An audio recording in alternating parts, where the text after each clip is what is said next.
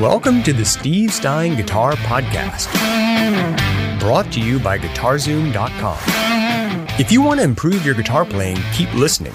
If you want to improve even faster, go to GuitarZoom.com, where you'll find all of Steve's premium courses, masterclasses, and memberships that'll help you quickly and easily improve your playing. Now, here's your host, Steve Stine.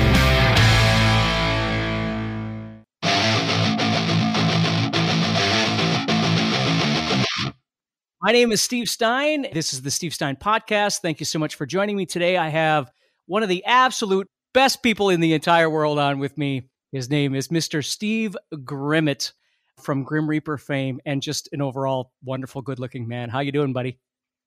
I'm doing good, thank you. Yeah, that was a really good introduction. you should have more like that.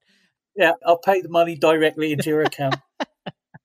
cool, very cool. Well, Steve and I go back a long way, and I thought it'd be fun to hear some stories that I don't get to hear from Steve about the early days and things that he did, what got him into music and all that sort of thing. I think about how much time we've spent together and how much time we've talked.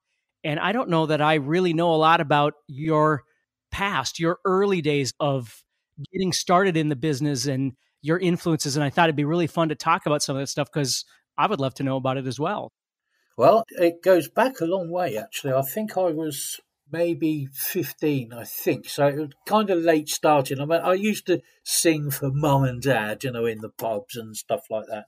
And I'm not going to tell you what I used to sing, but um, to say the band uh, came from Utah, I don't know. Uh, anyway, I sort of fell into rock, really. I used to listen to a lot of uh, pop stuff, and my favourite band at the time was Slade, and a huge fan of them, still am. But a girlfriend caught me singing in the bedroom and she said, Oh, you're really good. And I'm like, Oh, yeah, yeah. And it was for some unknown reason, she got me a job or got me a audition for a, a band in Cheltenham. I was living in Tewkesbury, so that was like, you know, 15 miles away.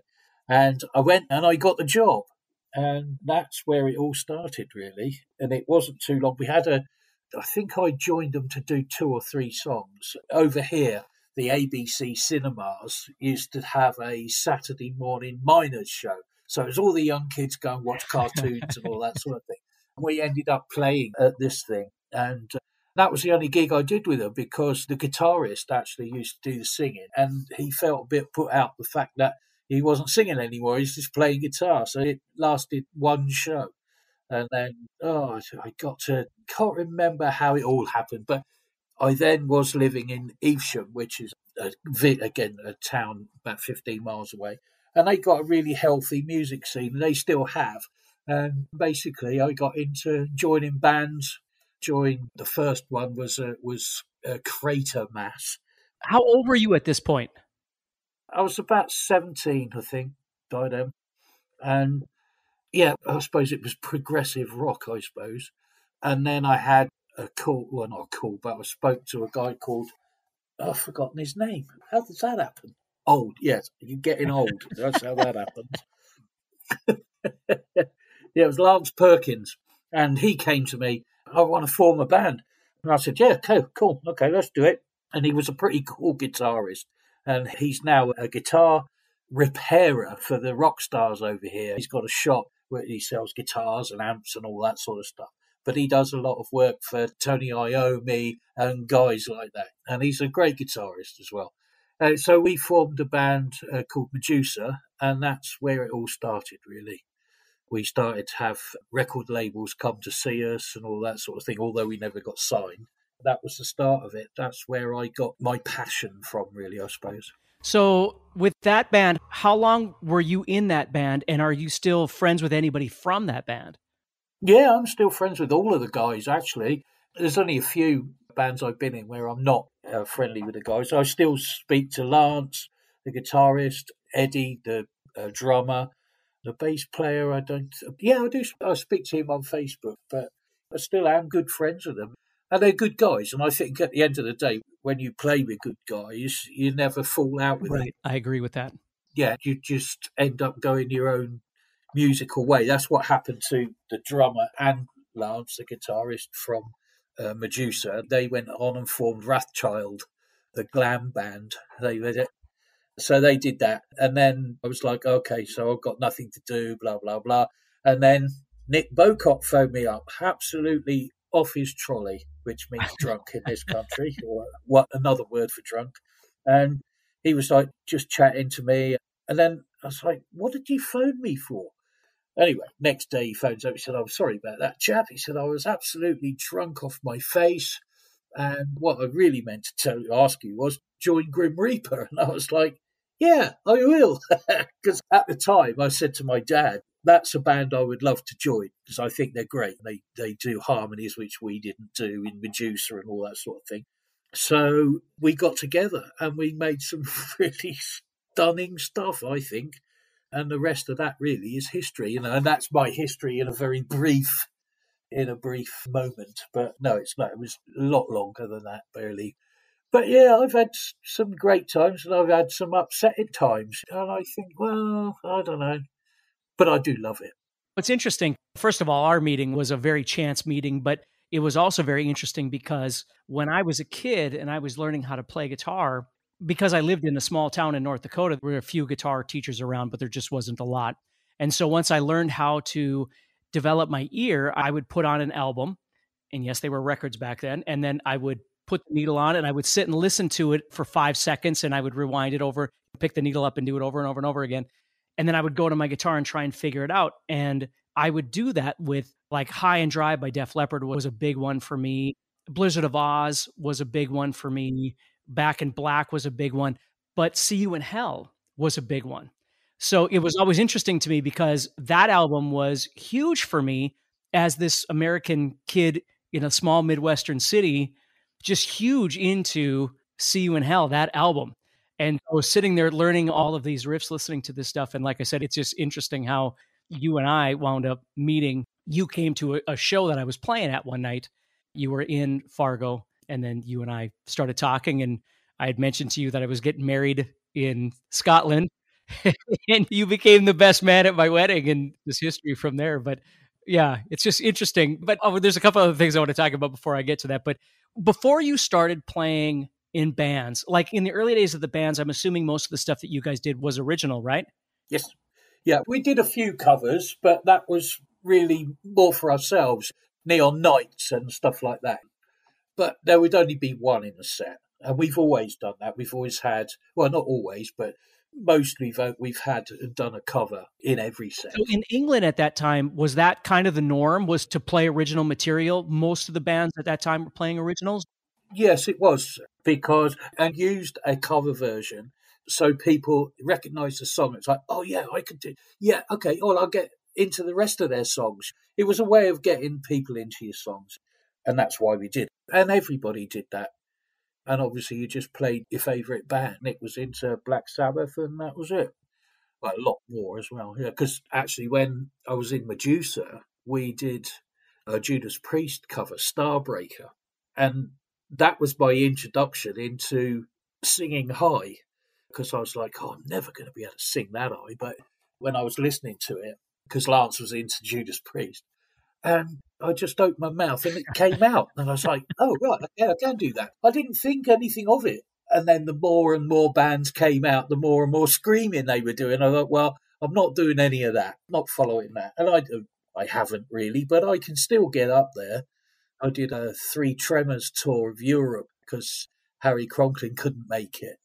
And that really extended my range. Well, no, I had to use my extended range in that one just to keep up with uh, Sean Peck and Tim Ripper Owens. That was great. I really yeah, it is so cool that you were able to be on that because I always followed what they do too.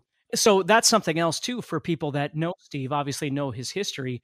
What I find interesting is like I remember us being on tour together and people would ask you, what do you do for warm ups? And you're like, well, usually it requires a shot and something else, you know.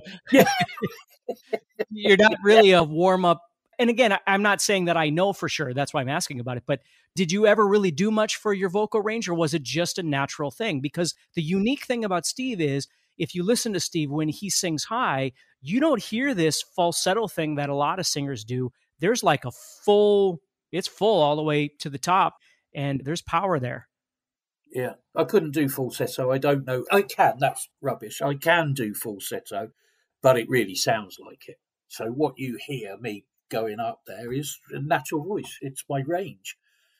I don't know how I do it. I don't warm up. I never have done. You know, like you say, it's normally a beer or a shot, and um, and some people say, well, your voice isn't going to last like that. Well, I'm sorry, but there are no rules, and I don't warm up. I don't think I'm lazy in that respect, but it just I don't. And whichever way I lost my voice, I, I tore my vocal cords or back in the early 90s and had to have an operation.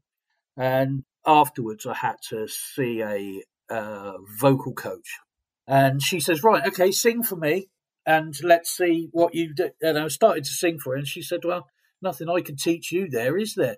And I was like, Oh, hang on a second. What about warming up? She said, Well, if you if you must.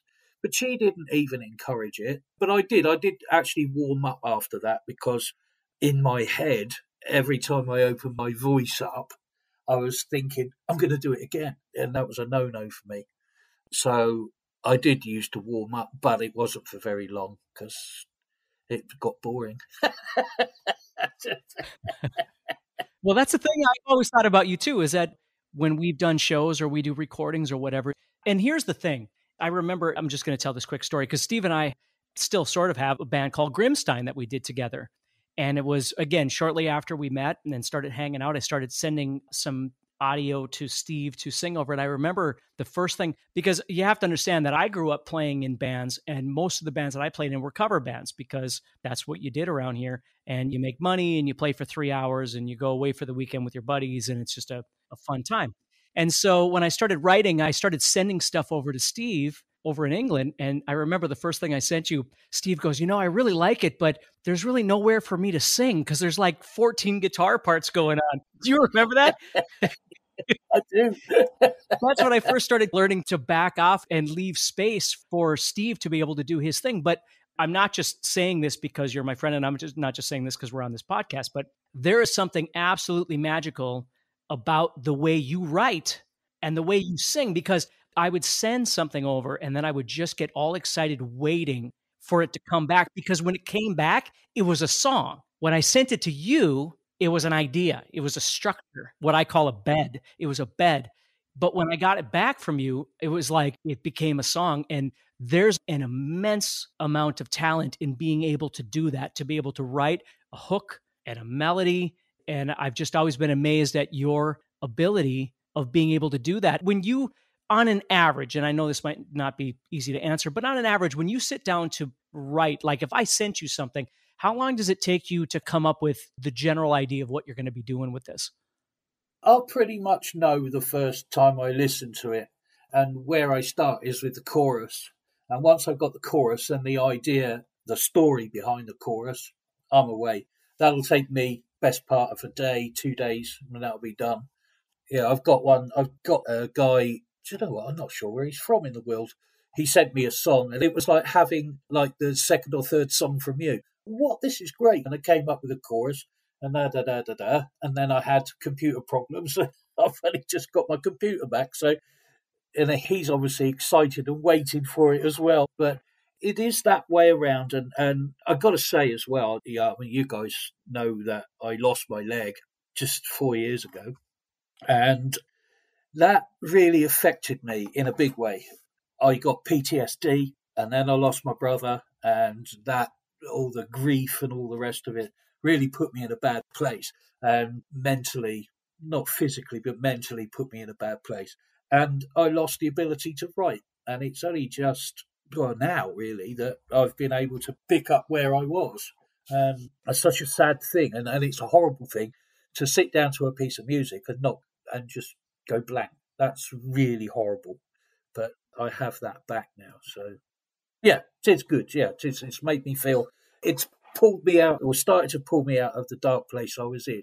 Well, and that's one thing I was going to say too is when you write, does the topic generally come up first, or is it a, a pitch thing, like a melody, or is it a rhythmic thing? Like, what tends to kind of, and it might be all of those things, but like I said, I'm not just saying this because you're my friend. I think you do an amazing job of coming up with really catchy choruses. And then there's always a really interesting, like there's a song we haven't released yet called Apparition, which I love. Anyway, so when you're writing, How does that work in your mind?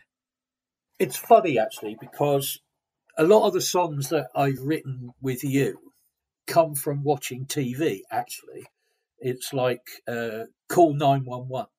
I watched the movie with Nicolas Cage in it, and I was like, "Oh yeah!" And I think it was I'd recently got the song from you. I was like, "Yeah, that's it." And I was in the studio, and To Catch a Killer, that was uh, John Wayne Gacy.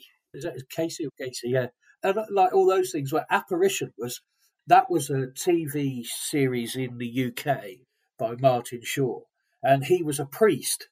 And it was all about demonization of his parishioner and all that sort of thing. And he would go out there and exorcise and do all that sort of stuff. And that's where that came from. It could, I don't know, it could be anything that just triggers it off. And for me, then it comes sometimes, like you say, it's all of those things. It's all of the melody, the idea, and the hook in the chorus. And that's where I start. And then the rest of it, it's not comes easy, but it well, it kind of does. And it follows on from the chorus because the chorus is the main thing. It's the thing that everybody remembers. So you just do that and you add to that to build it up to the chorus. Yeah, that's awesome. And I love it. You know? I remember, I don't know how long it was. Well, it had been a few years before I met you that I met my wife. But I remember when I would get those songs and then she started getting excited too. So, like, we would both sit around and just keep checking emails, waiting for something to come in to see the, the transformation of those. And the reason I'm saying that is because obviously, as I mentioned, Steve was the best man at my wedding. And then years later, Jess and I had a daughter, Imogen, which Steve is the godfather of. But I remember wanting to write a song when I was in the hospital with her name is Imogen. We call her Immy. When I was in the hospital with her, right after she was born, I was recording the sound she was making because she couldn't cry yet. So all she could do was make these cooing sounds, these little sounds. She couldn't fully cry. And so I started recording these whenever I'd see her, I'd record these sounds. And then I went to Steve and I was like, look, I really want to write a song for Immy.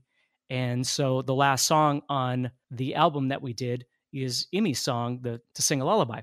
So if you listen to it at the beginning, you hear those little coos and you hear her first cry. When she first started learning how to cry, I recorded that and you hear that at the end of the song. But the point is, when we were listening to the song, when we got it back from Steve, my wife and I could not listen to that song for about four months without bawling. We'd cry every time we listened to that song because it was so perfect. And oh my gosh, Evie, now she just does this whenever we play it, like she doesn't want to hear it. I'm like, you don't even understand how much emotion was in this thing when this thing was written. It was insane. It was, I'll tell you now, I'd never actually put pen to paper when I wrote the lyrics for that. It was all recorded as press record and went for it. And all these things in my mind were coming out, and the lyrics were just going down into the computer and everything. And then when I listened to it back, I was like, what have I done? And I started bawling. and then I think I'd got the day off, and Amelia, my wife, she came back from work, and, and I said, listen to this. And I started bawling before I even pressed play. And it was a beautiful thing. It really was. And I will never, ever forget doing that song. It was a really special moment. And I don't know where the lyrics came from. They just did. And it was perfect. Yeah, it's interesting. There are a million memories of things that I enjoy, but as far as recorded music goes, there'll never be a song as important and as magical as that song was for me. It was just unbelievable. I hope you're enjoying this episode so far and you're getting motivated to take your guitar playing to the next level. Please do me a favor and leave us a rating on Apple Podcasts. It'll help the show grow and reach more rock stars like you who want to improve their guitar playing. Also, I'd love to know what parts of the episode you liked, as well as what you learned. So please share this podcast and tag us at guitarzoom.com on your social post. And now, let's get back to the podcast. So let's talk about now we're going to move on from Grim Reaper. So Grim Reaper dissolves and Steve Grimmett moves on. Where does Steve go from here? I know. Let's talk about it. Was Lionsheart. That was a good time. The, the first incarnation of Lionsheart had the Owers twins, bass player and guitarist. Great great musicians, fantastic musicians, but that's as far as it went. I don't really want to be nasty. It's just that they, I couldn't get them out of their bedroom. They were bedroom players, and that's the way they'll stay. But fantastic songwriters, And yeah, that's really all I can say about it. There, there were reincarnations of uh, Lionsheart, and every album was special to me. They were really cool. And it was basically Lionsheart was formed around, not formed around, but I wanted to do blues based British rock, like Whitesnake type stuff. And yeah, and it was good. Didn't quite make the Whitesnake stuff, but it was great. I dug the edge of it. I'm a big Whitesnake fan too, but I dug the edge of the Lionsheart stuff. So is with Lionheart, is that when you first started playing with Ian then? Yes, it was, yeah. Okay. Ian Nash is when name. he joined the band. Yeah, actually, before Lionsheart, there was a yeah, before Lion's there was Onslaught. I didn't know if that was before or after that. No, that was before. I got a phone call because Grim Reaper had, had, you know, all but gone, and I got a phone call from their management. We want you to sing on the album, possibly. And I was like, right, okay. So I got them to send me stuff, and it was like, oh, this. I don't know whether this will suit my voice or whatever. And then I spoke to the band, and they said, well, look, you know, what we want is for you to sing what you sing over our stuff. I was like, oh, okay. So I did four tracks on a four track machine, a, a tape machine, mind, cassette machine, in my dad's garage. And I sent it to them, and Steve Grice, who I remain big friends with and still am, the drummer, he said, We all got in my car. He said, We plugged this thing in, we were like, What the hell is this? In a good Right, way. right. And so I ended up then being whisked to. Oh, first off, I got whisked to the record label to see the the A and R guy, and he said, "Can you do this job? Can you do this?" I was like, "Well, you obviously haven't done your homework. You don't know who I am, do you?" And, that, not that I ever say that, but it's just like, yes, of course I'm going to do a good job. I wouldn't put myself through it if I didn't think I was going to do it. Anyway, we did and they whisked me off to America because the producer was over there, Stefan Galfas, and we got for two weeks the whole of Atlantic Studios in New York because he was doing two bands. There was two studios. On the third one, we were doing my redoing all the vocals um, uh, for for Onslaught, and Stefan and I got on really well. And I used to give him so much shit, if I can say that. And you'd see the crew you'd see the, the engineers and everything going, oh, no, I don't believe he's just said that to him. And I'd start, I'd, he'd start on me basically, and then I'd say, you're just a colonial. Why don't you just grow up? Or I'll take you in the car park and sort you out, you know, all that sort of shit. And Dave, the, I can't remember his surname now, but he was uh, quite a big A and R guy back in the day. He signed um, the Sex Pistols to EMI, although that was a successful relationship. But anyway, um, he caught me doing me and Stefan doing this. He came out of the elevator and heard me and Galfas going at it. You colonial! I'll take you in the car park and I'll smack, I'll kick your ass all around. And of course, he saw Stefan later on. He said, "Steve's a bit confrontational, isn't he?" He's like, "Oh, Dave, you just don't get it." That's how we roll. Yeah, right. So yeah, and that was a good time. It was a tough job for me to do, but I did it. So that didn't last for very long. Um, I never thought it would do really, because it was a stepping stone for me. Because with Grim Reaper, I hadn't played in Europe or done a few shows in my own country, but not big ones. That was a a stepping stone for me, but a good one. And I ended up with good friends from that as well. Then the Lionsheart thing, and basically that was I got forced into doing that. I wasn't going to, but I got forced into doing it. But I'm glad I did because I really enjoyed it. It was it's good recording time. It was great. It was really good. And we recorded that first album when there was still money being poured into albums. So we did it in a see old, getting old. We did that at uh, Ridge Farm, and yeah, we stayed there. So it was good. Good Did time. you wind up touring Japan with Lionsheart then? Yeah, I did do that. That was really yeah, I weird. bet it was. because we were out there when it was day it was released, I think, and then two days later we would do a video for the song. That was for um, "Can't Believe," and the A and R guy picked me up in the morning to go and do interviews and stuff, and he said, "Steve, if you do fifteen thousand copies in this country it's considered a real big success. I was like, great, that's that'd be great if we do that. Da, da, da. And he said, well, we did that in the first hour and a half this Oh my morning. goodness. And I was like, you gotta be kidding me. I mean, I can't remember what albums we sold, but we ended up going straight to number one in the Japanese charts, which is unheard of for a non Japanese band. And it confined me to my hotel room, basically, because I couldn't walk out in the streets, get mobbed. Wow. it was unbelievable, but great. And the first show we did out there was in Tokyo. I can't remember how many, how big the audience was, but it really knocked me for six. I couldn't remember any of the lyrics. I couldn't remember whatever, and, and I'd got people writing the lyrics down for me so I could put them. And I didn't need them anyway, but I mean, I got out there and they all knew the lyrics for me. That's amazing.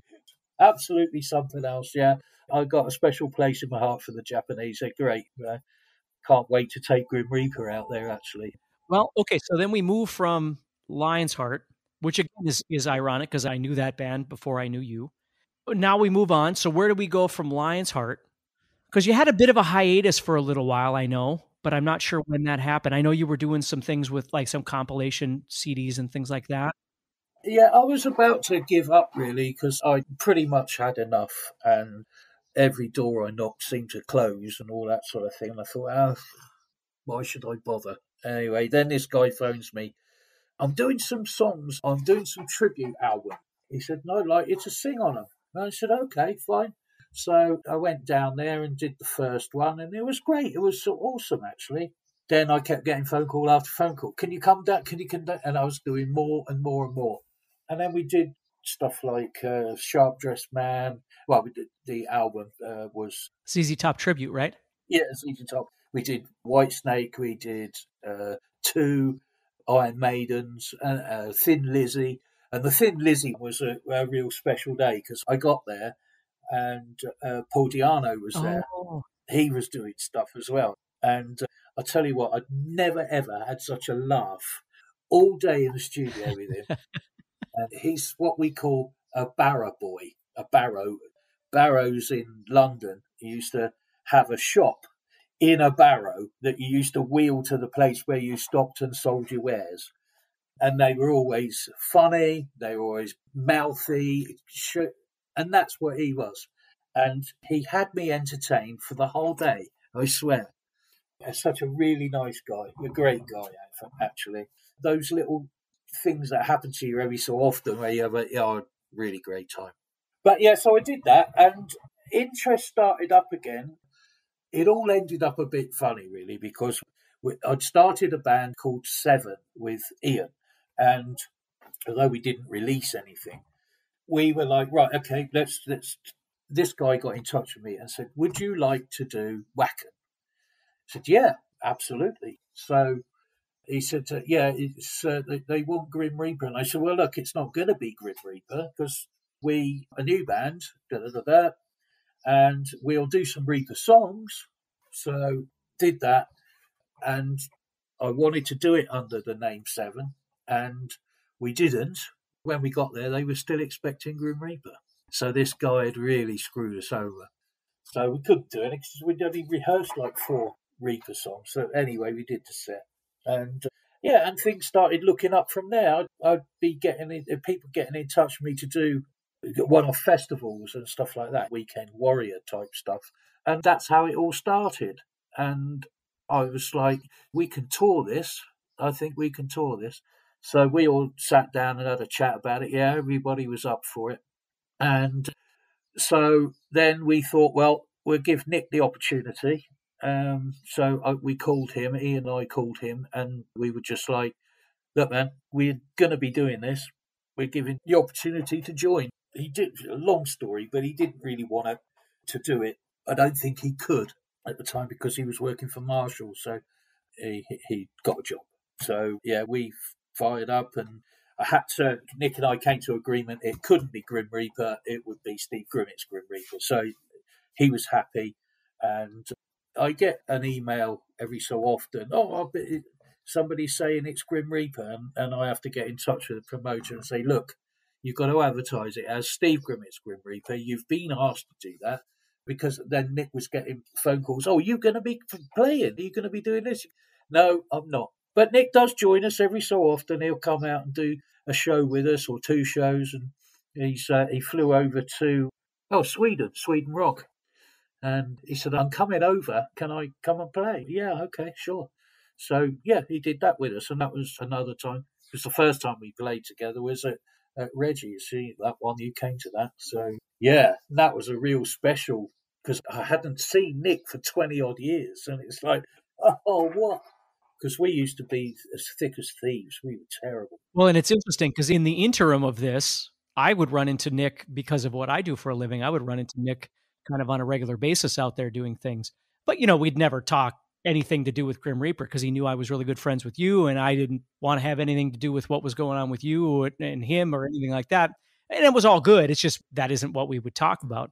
So it was interesting when COVID hit and everybody's sitting at home going stir crazy. And I thought, well, it'd be kind of fun to start doing some collaborations with people, just get people doing stuff, get friends together. And obviously, I would play with you so much more if I lived in the same country as so this was an opportunity to start doing things and so that's when heaven and hell came up to do with you and nick on video and it was a lot of fun.